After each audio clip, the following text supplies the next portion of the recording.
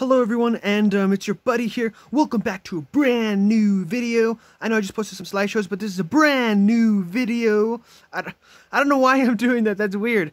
But I just wanted to say, you guys may not have known that there was a Polynesian Yu-Gi-Oh card, but did you guys know that there's actually two? Yeah, the other one, Beast King Barbaros, which is a really crazy card. Um, I don't know if it looks backward to you guys, but it's not. Let me see if I can like get it focus better. Okay, I think that's the best we could do. But it's another card.